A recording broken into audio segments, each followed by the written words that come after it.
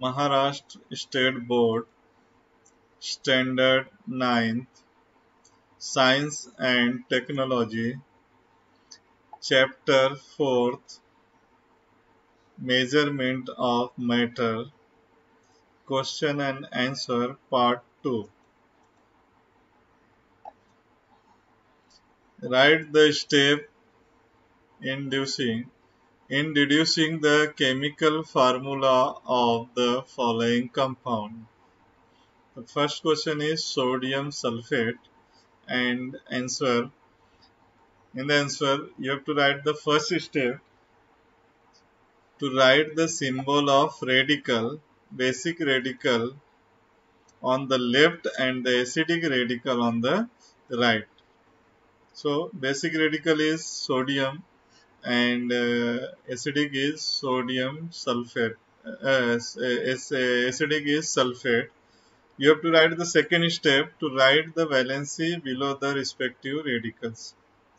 So you have to write the valency below the sodium and sulfate. The so valency of the sodium is 1 and the sulfate is 2. Okay. Next step is step number third to cross multiply as shown by the arrow the number of the radical. So you have to cross multiply the numbers, uh, uh, cross multiply the valency with the radicals. Okay you have to show the arrow. The next step is step number 4 to write down the chemical formula of the compound and it is become the sodium sulfate Na2SO4 sodium sulfate. Okay. Next question is second question is potassium nitrate. And answer in the answer first step to write the symbol of the radical uh, basic radical on the left side and the acidic radical on the right side and here is the potassium on the left side and nitrate on the right side okay second step to write the valency below the respective radicals so we have to write the valency of the potassium and it is 1 and the valency of nitrate is also 1. Then step 3 to cross multiply as shown by the arrow the number of the radicals. So you have to cross multiply the valency with their radicals. Okay. Next step is step number 4 to write down the chemical formula of the compound. After cross multiplying, you have to write the formula and the formula is potassium nitrate and it is KNO3 potassium nitrate. Okay. Next question. Question number third. Ferric phosphate and the answer in the first uh, answer the first step is to write the symbol of the radical basic radical on the left and the acidic radical on the right side and the symbol is Fe for the ferric and PO4 for the phosphate. Okay. Second step to write the valency below the respective radical.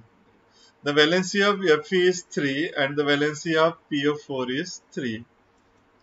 Then the valency 3 and the 3 is divided by the 3 and it comes 1 and 1 and you have to cross multiply as shown by the arrow number of the radical.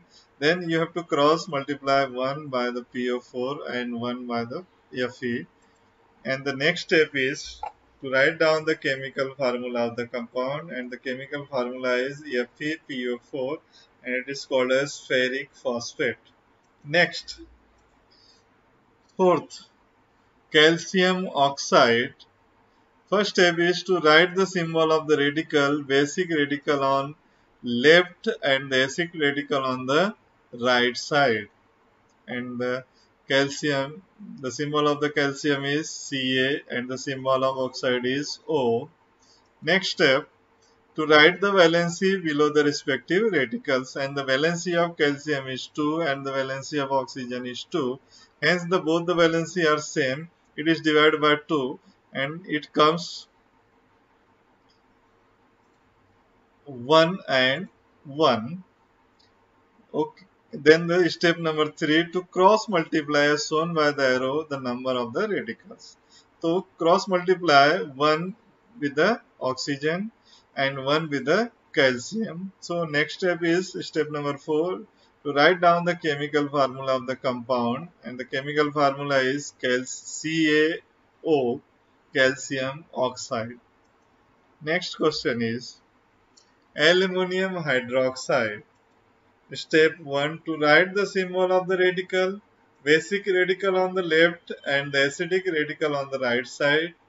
And the radical of the aluminium is symbol of the aluminium is Al and the symbol of hydroxide is OH.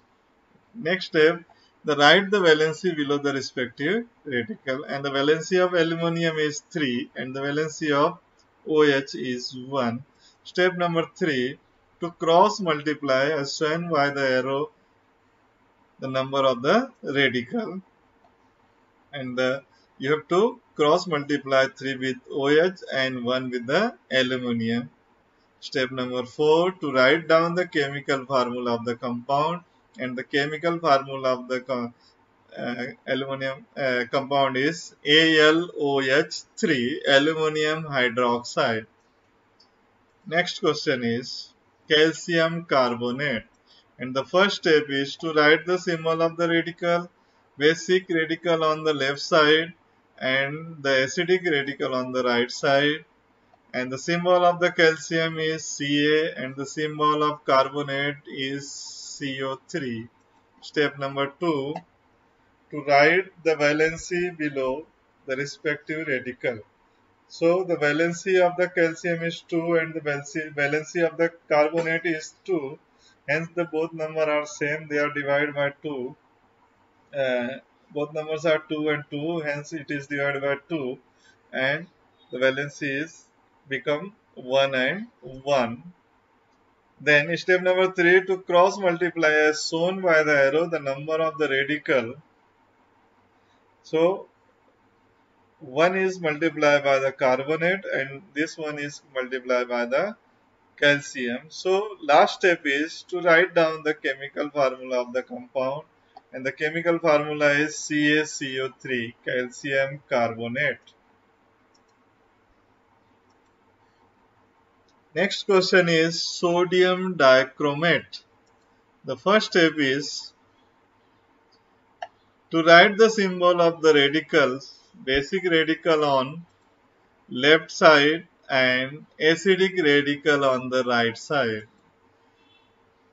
Symbol of the sodium is Na and the symbol of dichromate is Cr2O7.